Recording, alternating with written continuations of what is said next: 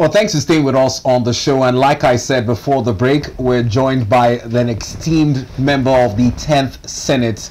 And I'm talking about none other than the editor in chief of a magazine, which I've had the privilege of also having a copy to look at.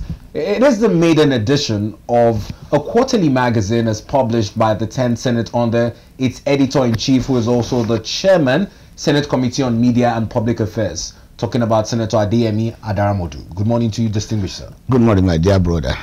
I must commend you before we get into any details on the quality of this material at hand. It is indeed deserving of such publication. I must commend you. Thank you very much.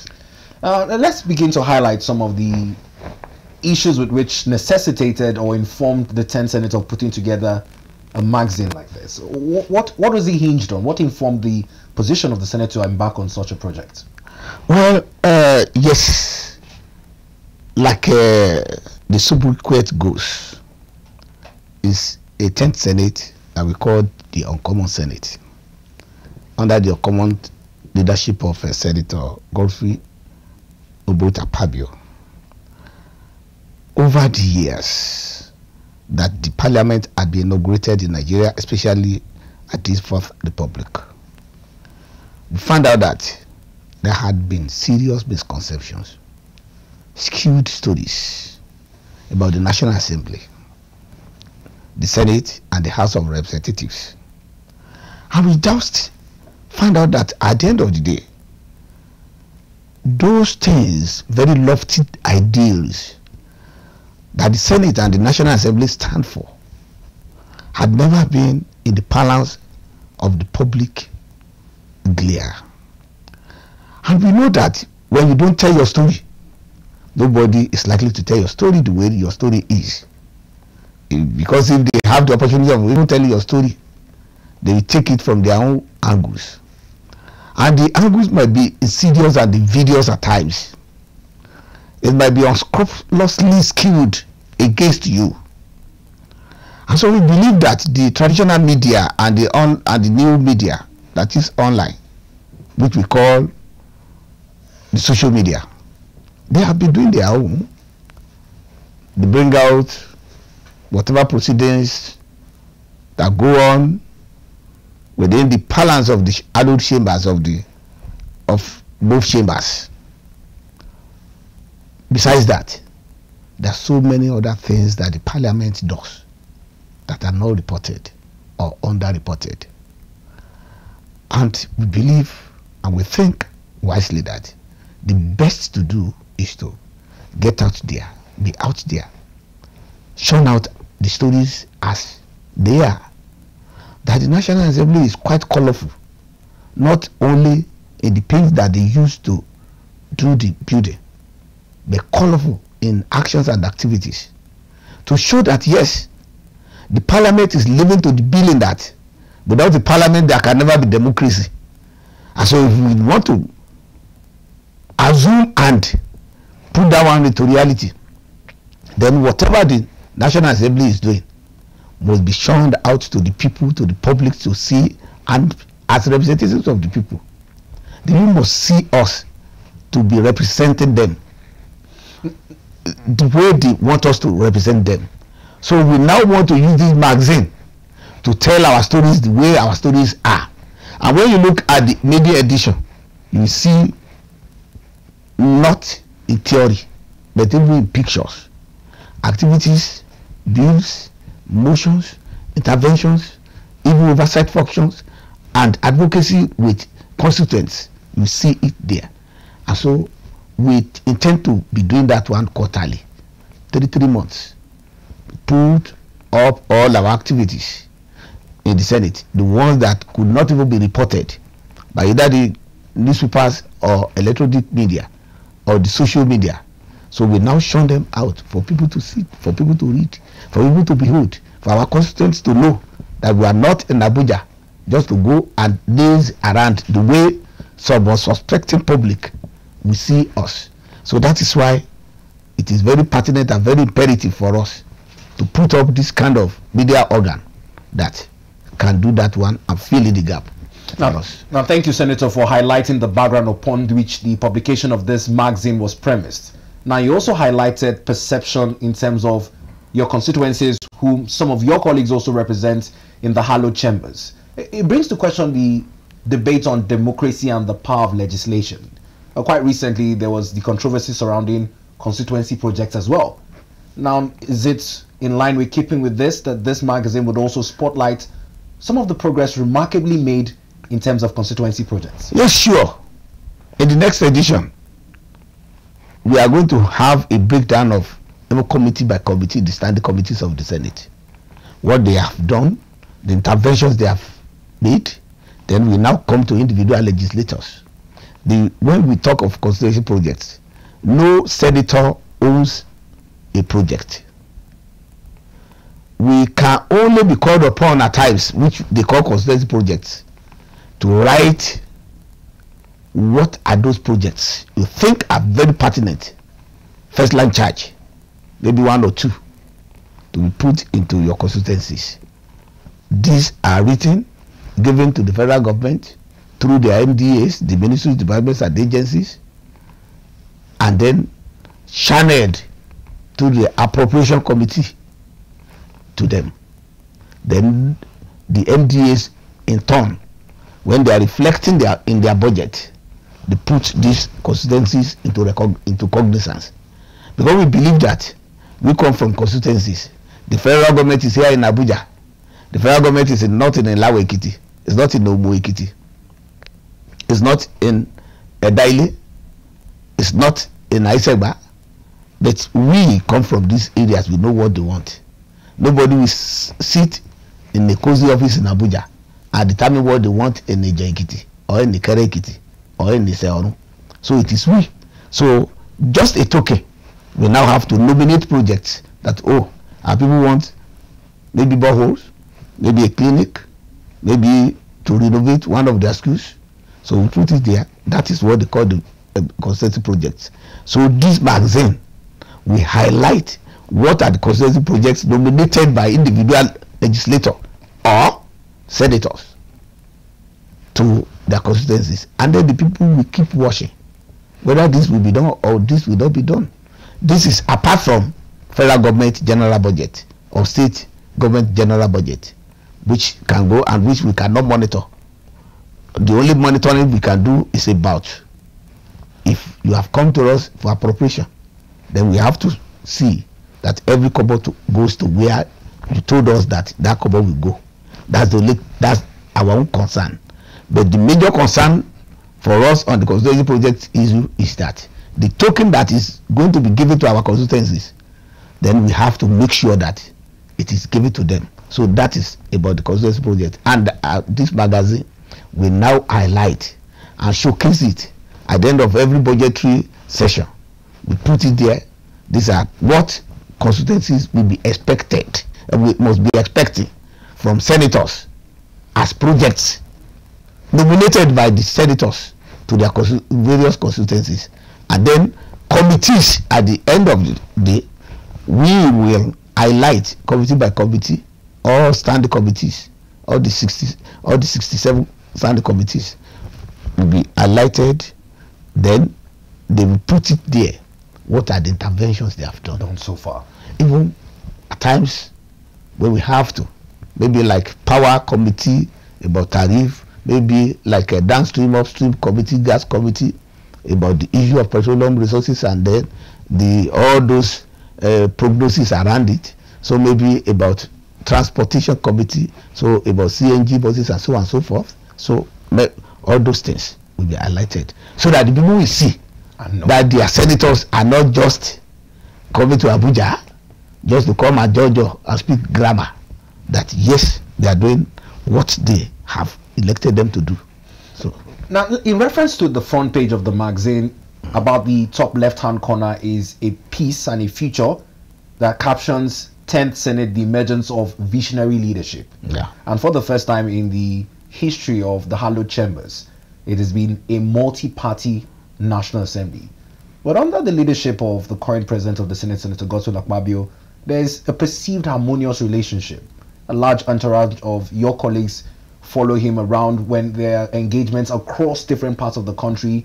There's a seemingly presence of brotherhood and camaraderie, despite different political leanings. How has this been achieved? Oh, yes. Uh, the parliament, the National Assembly, as it is called in Nigeria, there's no party, there's no delimitation of even states and even districts. Whenever we get into the adult chambers, we are one. We are serving Nigeria, and Nigeria is one, very indivisible, united. So we now evolve and evoke that unity. So this 10th Senate leadership under what I call the uncommon leadership of Senator Godswill Obot Akpabio is that we want to do very uncommon things. Even the issue of this uh, magazine, for the first time in the history of uh, Nigerian Senate, is a magazine is birth to highlight and showcase the activities of the Senate. So it makes it more uncommon. And so in the Senate, it's a big family, it's one family. And then the leadership of Senator Obot Godswill Obot Akpabio has been very, very inclusive. When you look at standing committees, the chairman and the vice chairman cut across the various parties that are represented in the Senate. We have the APC, the PDP, the SDP, the NNPP, the Labour Party, and then some other parties that people will even think that they still exist in the calendar of INEC. so it is not about how many constituents or how many people voted for your presidential candidate while during the election. It is that whenever you come to the hallowed chamber as a senator, then you are taken as equal as someone who comes from APC or PDP or Labour Party. So we are all bonded together under that kind subject of uncommon senate and the only focus is the development of Nigeria, the unity of Nigeria. We have to show that example. We have to let people know that once the parliament is together and is one under one leadership of the or common leadership of God, uh, God's, uh, about Godswill Akpabio, then definitely people should take a key from that and ensure that the unity of Nigeria is not vitiated, the unity of Nigeria is not negotiated, the unity of Nigeria is not even negotiable. So that's how we are keeping on, and that is what is keeping the Senate together, and that is what is making us thick, and that's why this magazine comes into being. Because if we can do this one this time around it means that because the house is conducive because the house is together that's why there is one voice that there must be a voice that will push the voice of the senate to the general public through the magazine now, now beyond pushing the voice of the 10th senate to the general public within nigeria I, I must once again commend the leadership of the national assembly the parliament has now gained recognition in the community of the international Parliamentary Union, the IPU. Yeah. Senator Godswill Obota led the Nigerian delegation, uh, and it was more so on also his induction into the union. Yeah, that, I, have seen a provision in the magazine where I think you have a piece on this as well. Yes. Would you care to buttress this? Yes, yeah, oh, yes. You know, uh, because of like uh, an adage in Yoruba, they will say, which is which in English is charity begins at home. They will say, Tiliba Sonny, Ita Sonny. Meaning that if the house is pleasing, pleasant for you to live in, definitely by the time you go out, they will see the sign in you and on you vividly. And then it means that that outside benevolently, they are going to accord you that kind of pleasantry that you are accorded at home because home is good when uh, our senate president got to the appeal. Then it made it very easy for those our colleagues out there globally to recognize that a him to see it in him to see it in him to the extent that they have to be, him the leader globally. So we don't have any reason not to be very proud of the leadership of the 10th Senate and then the leadership traits and exploits of Senate President Godswill Akpabio in this wise. We have no reason not to. We have to celebrate him. But the celebrate the celebration is not supposed to be limited to the senators.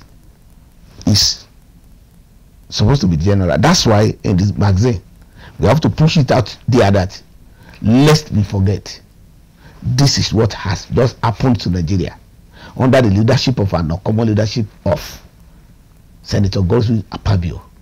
If this is happening to Nigeria this time around, Nigeria is not the only country where we practice democracy and where there is parliament. Why did they choose Godswill Akpabio to lead? It is because home is good, our senate is good, Nigerian parliament is a primus inter pares. That Nigerian parliament is not antithetical to the tenets and the testaments of popular democracy. So that's why in the magazine we celebrated that. It's not an achievement for Governor Akpabio alone. alone. It's not even for senators alone. It is for Nigerians as a nation. As a nation. It's for Nigeria. It's for us to be proud of and for us to build on.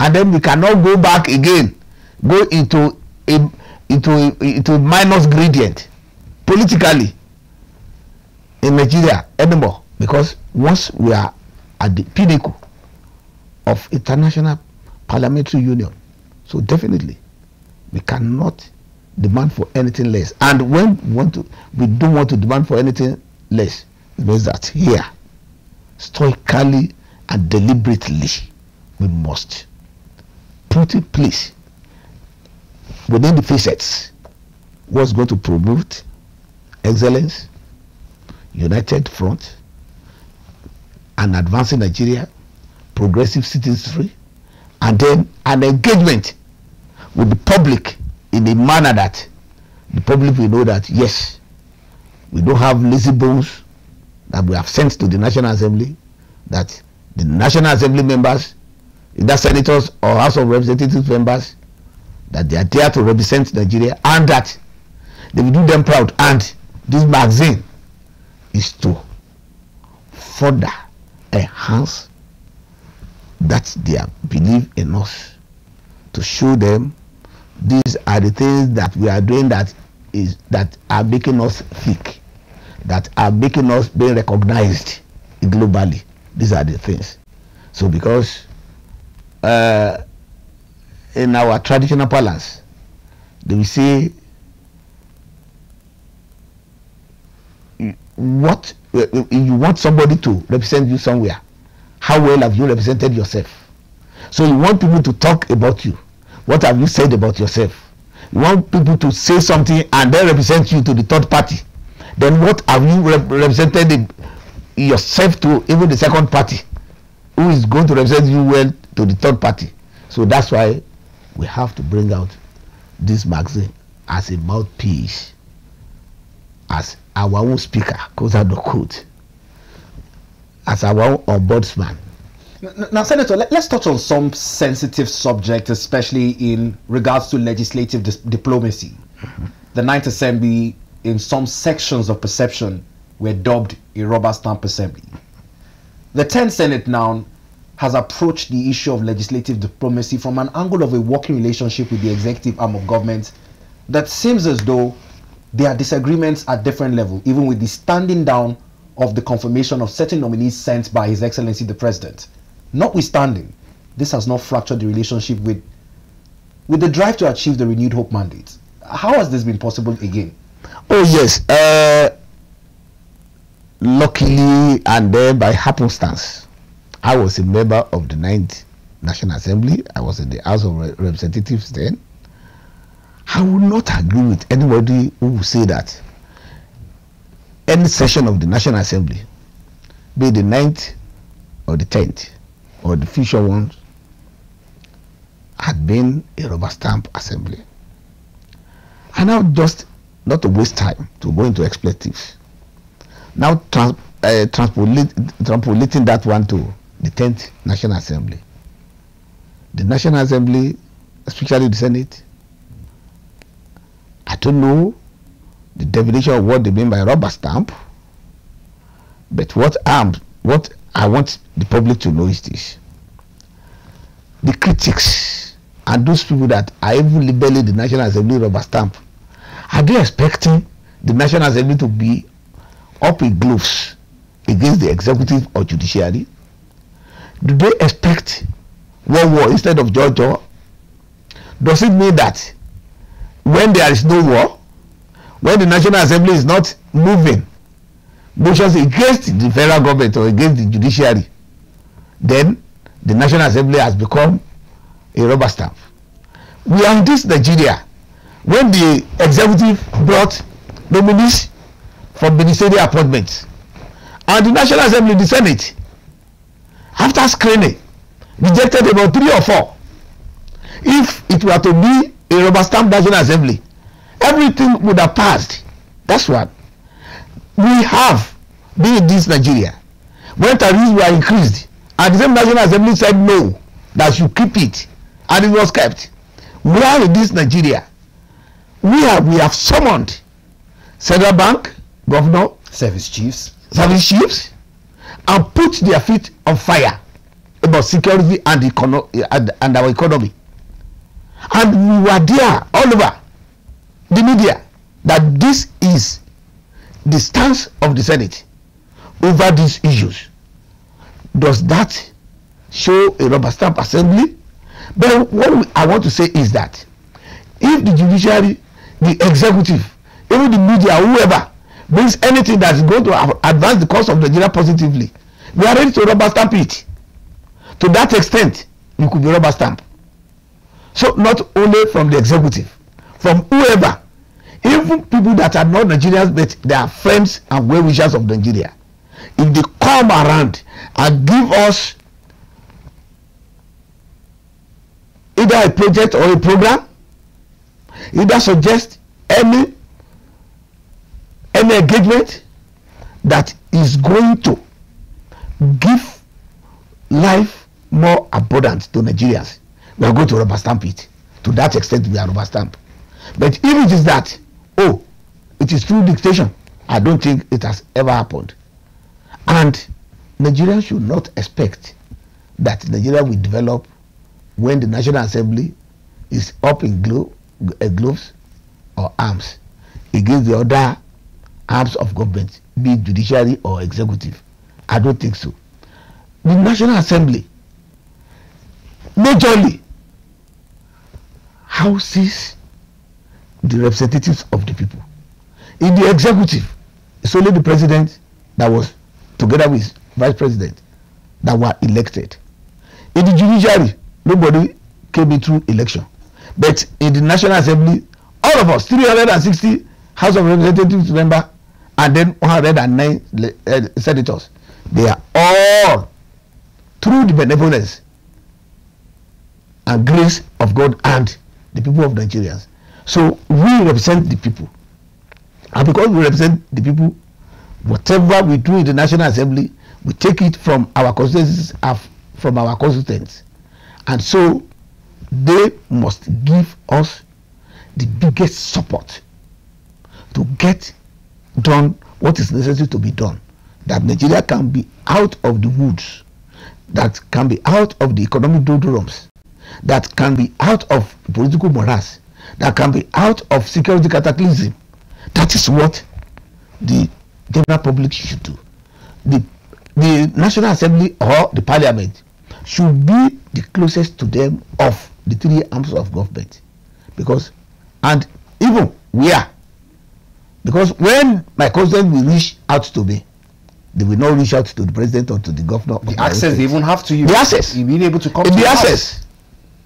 I have to throw the doors of my house open every time. They have my phone numbers. They call variously at any time. And what tell you if you deny them that access? Because you will not come back to them again. So definitely it means that since we are the closest to the people, then the people must show that yes, we are the ones that they will get across to when there are issues. And so they should believe in us, place more premium on the National Assembly or the or the Parliament. Because I know and they know and everybody knows where there's no parliament, there's no democracy. The rest will be anarchy, oligarchy, autocracy, autarky, or whatever. So that's why our magazine, as you rightly said, we want to bridge that gap. We want the people to know this is where we are, this is what we are doing, and then their contributions will be based and be informed by whatever performances or engagements that we engage in that we showcase to them. Well, it's quotable from the words of the editor-in-chief of the 10 Senate magazine, Senator Adeyemi Adaramodu, who says, and I quote, where there is no parliament, there is no democracy, as has also buttressed the role of the working relationship between the executive arm of government and the legislative arm, one which he says can be further buttressed by the position of Nigeria in the global community of nations, as the president of the Senate received a leadership position at the IPU. Let's revisit that historic moment this morning and we'll come back to more developments as it concerns the urge for a constitutional amendment and other issues that the 10th Senate has been saddled with. Take a listen.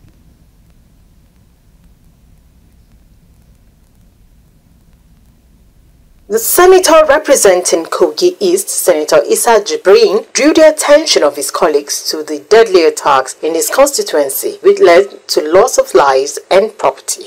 Armed headers invaded the Agoji Jodo, Ajopachi Jodo, Bagaji and Bagana communities, killing 21 innocent citizens, including women and children, in addition to unprecedented destruction of their farm produce alarmed that on 30th April 2024, gunmen attacked Ajokpachiodo community in Omala local government area, killing no fewer than three persons and rendering the entire community desolate, with no health facility to cater for the uh, deteriorating health conditions of the survivors. Contributing to the debate, some senators lamented the continuous killings in some parts of the country, saying it brings a feeling of hopelessness among Nigerians. What we owe these uh, people goes beyond rhetoric, go beyond condemnation, go beyond one minute silence, go beyond crying every day. No, our tears will solve this problem. I submit, sir, that we set up an ad hoc committee, invite public hearing, let it be well publicized, let everybody come there and share with us what they know, enrich our limited knowledge of what is going on across the country, and let us find and for us a lasting, sustainable solution. Today, as it is, the livestock industry is worth 30 trillion naira. In fact, some authorities will tell you it's 30 trillion naira in Nigeria. So this is a very important industry. And we cannot neglect it. If all the cattle you consume in the United Kingdom, you see them on the streets of United Kingdom or England, nobody sees these things on the road. It's only here that we can stay and every morning, headers will invade a community, kill 30 persons, touch the houses, burn their properties, displace them, and we have no solution to it. Ruling on the motion of the killing of innocent citizens in some parts of Kogi East, President of the Senate, Godswill Akpabio, said the summit will be all-encompassing. The upper chamber consequently resolved to set up an ad hoc committee comprising one senator from each geopolitical zone to look at the matter holistically.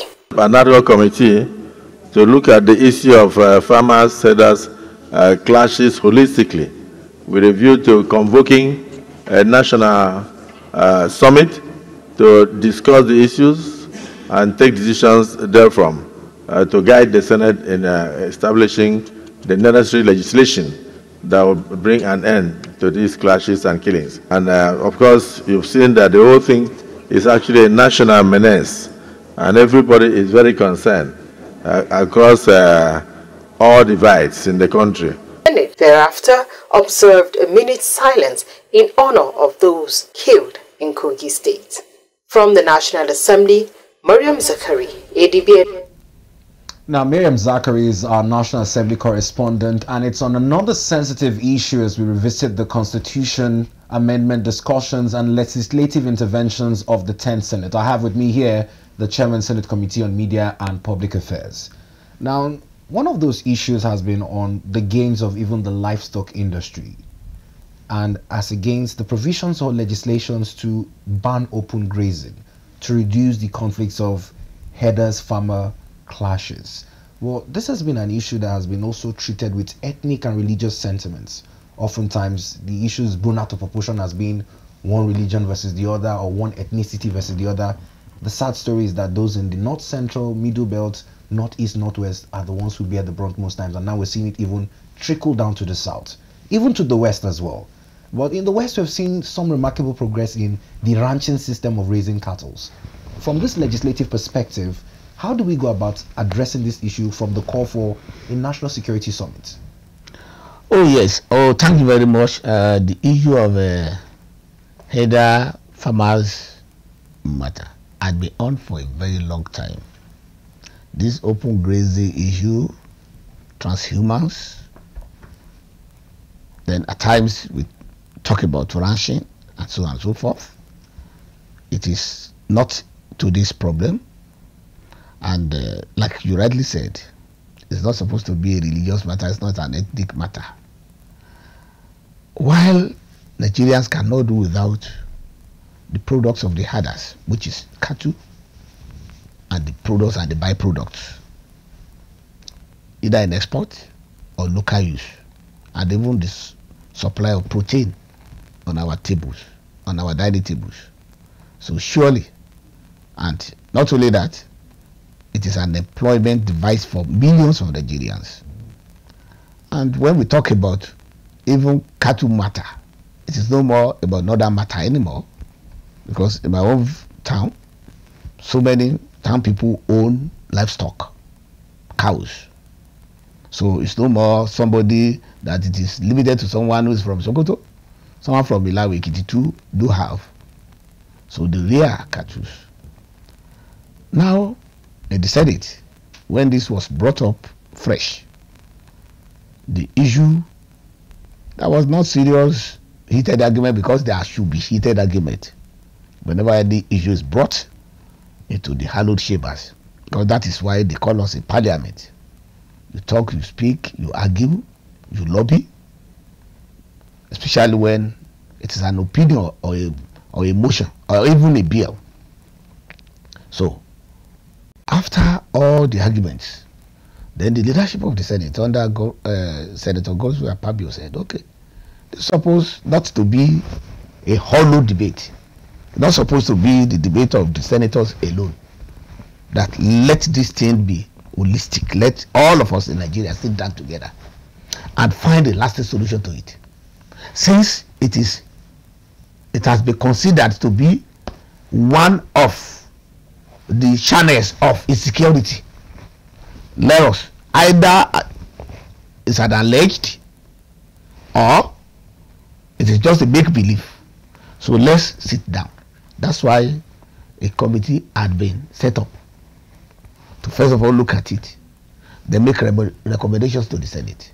Then after that recommendations then a general summit will now be convoked whereby nigerians all the critical stakeholders will now come and say what they want to say and what they want to suggest and what they want to propose, including the Ministry of Agriculture and Food Security. And then all the states and all the individuals or groups or cooperative groups that essentially are interested or involved in cattle rearing, ranching, or herding. So, and I think not to preempt what the committee will bring, will come up with. So the Senate will now rest it with the committee. Let them bring their recommendations. Let that summit be convoked. Let us see what the critical stakeholders will say and will want. And whatever they say and they want, we transmit that one to the federal government if it is necessary for for the national assembly to do legislation to make a law that this is where and how it should be. Then it will happen. So that is where we can rest it for now about the issue of herding ranching rearing of cattle in nigeria. Now let's come to other legislative interventions of the 10th Senate and much in line with the cries and yearnings of Nigerians. Whilst we look at the current rate of inflation, the exchange rate and the economic hardship, the 10th Senate and largely the Parliament has played a role in standing down setting levies and also calling on the suspension of certain intended hikes in tariff. Uh, would you care to expatiate more on what informed the Senate to make such interventions? Yes, uh, the 10th Senate, when we came on board, we said that Nigerians will not walk alone. We will always be with them. Not only that we represent them, not only that we represent their interests, not only that they bring us to Abuja, but we too are concerned. Because whatever, let me tell you something. In Nigeria today, like I told you that we are very close to the people. If there is any problem, economically especially, we are the first to feel the heat because our constituents we inundate us with demands. So if the economy is running very well, you can sleep with your two eyes closed. And apart from that economic challenges, what about the attendant security problems that that one will bring? Now, is there anybody in Nigeria who is a legislator who will not like to walk freely on the streets of his hometown? But if the people are hungry, then you are in trouble, you are in soup. Apart from the fact that if you have two cups of rice to eat in your family, and then you have 10 visitors who are ready to share it with you, you are not likely to get two three or, or four spoonfuls to eat by yourself. But if the economy runs very well and they can take care of themselves then your two cups of rice will be adequate and enough for you. So definitely we are the first to feel the heat. And because of that we must in honesty and good conscience ensure that things run very well that's why we believe that we should intervene and we must intervene and we are intervening. The issue of tariff when it came up, we were not even in session when the issue of tariff, the recent electricity tariff came up. We are not in session. Especially uh, assembly, uh, um, uh, session, we were not. The majority of us and almost all of us were in our constituencies. And then when the issue came up, the Committee on Power had to convene, look for themselves, wherever, from different constituencies within the nook and crannies of Nigeria. And they came back to Abuja. And they sat and they viewed it and debated it. And they even invited the Honorable Minister for Power, who graciously came, and all other stakeholders. And then we submitted the cries and the hymns of Nigerians to them. That look, either band A, band B, band whatever. That look, it is excruciating going through this. We know that times are hard and for these corporate bodies because power sector had been somehow deregulated, but the government is still given some a modicum of subsidy in order to alleviate the sufferings of the public. And all over the world, there should always, always be handouts to the citizens too, because they own the country. So we cannot leave them to the dictates and the whims and caprices of Shylock traders who want to make only profit. So based on that, the Senate Committee on Power came up and then invited them and they spoke. And we presented the views of Nigerians. And we brought in other stakeholders. And they came with some resolutions which were adequately submitted to the executive, and then the ministry was given an advice on what to do, and then we are expecting some further feedback. Immediately we came into session, uh, that is a Shimba plenary session. So, and we have not left it like that, and we are seeing some modicum of looking backwards from the ministry and from the state, from the uh, uh, do I call it the the regulating uh, uh, uh outfits, TCN, G, Denko, Disco, Disco, whatever. Co. So we can see some of them are now trying to bend. So and within a very short while, you hear from us again. And we have been doing that one in other sectors. Now, very quickly, as we have just little than five minutes to go, this magazine, very beautifully put together. I'm very sure a lot of our viewers at home will be asking, how can some of your constituency members and across board Nigerians obtain a copy of this? Is there a fee to it? Uh, the cost of publication is also another concern many Nigerians will be looking at. Could you just kindly touch light on that? Yes, yes. It's, uh, it's not for sale. We have so many copies. All senators we have in their constituency offices. We are going to make sure that it goes to every embassy in operating in Nigeria, airports, aircrafts flying within the space of Nigeria, all media houses, all ministries, departments and agencies. We take to the NLC labor concern. Take to even to the students in the schools, in their libraries. I will make sure that it's widely circulated and uh, whoever will be interested to read further copies can get across to us to my office either through phone call or text message or whatsapp message then we make sure that he or she or they get copies of the magazine this is a media edition and we have enough copies that can go around well, I must thank you, Senator, as we come to a conclusion. But just for our viewers, just to reiterate again, Senator Adeyemi Adaramodu is the publicator of the magazine in the office of editor in chief. It's a publication of the Office of the Chairman, Senate Committee on Media and Publicity, and he has said it will be available for Nigerians to access at the various places he has mentioned uh, institutes of public use, the airports, the offices of even senators representing your constituency. Please feel free and pick up the magazine as it highlights some of the subtopics we have talked about this morning. We've touched light on the issue of democracy and the power of legislature.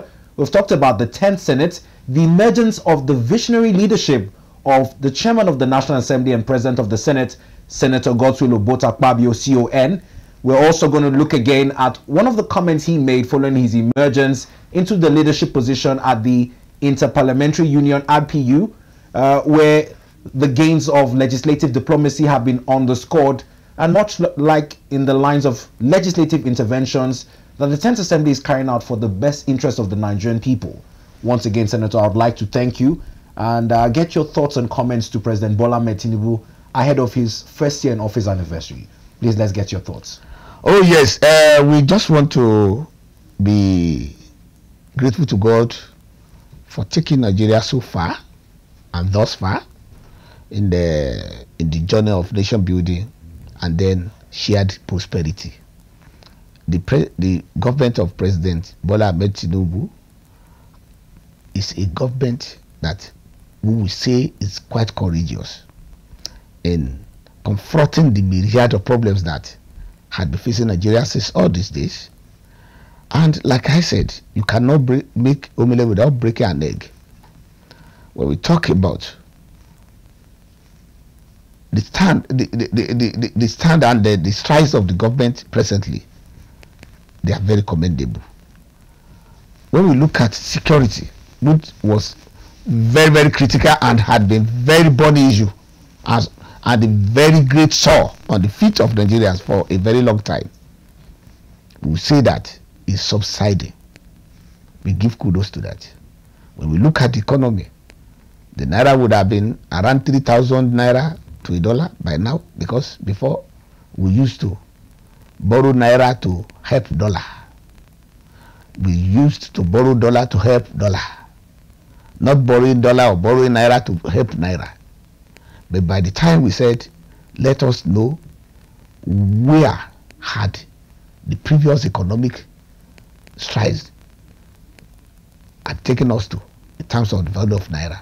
Then the naira started started buckling under the jackboot of the other foreign currencies. So for reviving and from saving the naira out of the IC, bringing it out of the ICU, economic ICU, intensive care unit, breathing new oxygen to it, we have to commend him. And we have to commend him for even getting the global public to have another hope that there's a country called Nigeria which is a giant of Africa. We had always been a giant with clay legs. But for the government of Bola Tinubu putting strings and bones into that clay leg so that Nigeria can stand up very well as a giant of Africa. Not only he becoming the chairman of West African Union, the ECOWAS, being a very pivotal voice and figure in the AU, be the person that will be nominated is able to address Commonwealth and address the UN Assembly. ECOWAS. So we can say that Nigeria is back on the world map. Now the only thing we can do is to encourage him. And not only that, look at the youth development issue, the students loan, loan, which is very novel in Nigeria, which has just started now. Look at some CNG other interventions buses. when the CANG buses start running. It will bring down the cost of transport fares on the streets of Nigeria and several others. Like I said, when you want to make omelette, you break an egg. But by the time you are eating omelette, sumptuously, and then we know the attendant effects of that sumptuous meal that is going to promote good health. So we believe that the government of President Bola Ahmed Tinubu has started well by confronting the issues, holding the bulls by the horns, because we cannot when we like uh, my in, the, in, in my Yoruba area they will say wọ́n bẹ́ mọ̀ bo ìṣẹ́ wọ́n wẹ egbò mọ́ ẹ̀gbin. Meaning that there is a saw on your leg. You are now pampering it. If you don't be careful that leg will be amputated. So because his government is not nursing that wood pampering the wood he has now gone ahead to open the, fa- the, fa- the that wood and then apply the necessary iodine or whatever that can make it healed so the only thing we can do from the legislature is to support the government. Not only supporting the government where and when it is necessary for us to even give knocks. We give our knocks where it is necessary for us to give kudos we give kudos with our action. So it might not be through the words of the mouth. That's why i said executive legislative legis legislative uh, uh, cordiality is not is not for fun. It's for the benefit of nigeria and for nigerians. But if we sit down and then we just do the social media that oh a cow knock somebody down on the street of uh, of garki so we are summoning the minister. So if you don't be careful within thirty minutes go and resuscitate go and kill all cows. So and then we start punching. That is when we know that the assembly is working. No it is not so. So we have to be partners in progress and then of a united country we call nigeria. And then we be we, beho- we it behoves that nigerians too we join hands with the government to let us see all policies and uh, our, our programs of government through. Because we don't have any other place. And then the last is that all nigerians we too must we must have it in mind that we have a country and then our traits behavioral traits too must suggest that we really want nigeria to change for the better so when you are at the fuel station don't shun on the queue even without that if you own a fuel station if someone wants to go there and buy two thousand naira fuel make it two thousand don't readjust Your meter. your meter Thank you very and much. again when you even get to the to the, uh, you are on the road and then the traffic light says stop stop. Don't move out of it because it is garbage in garbage out. The the citizen that cannot obey simple law if he gets to government definitely is going to be a lawbreaker. So that's the way i see it.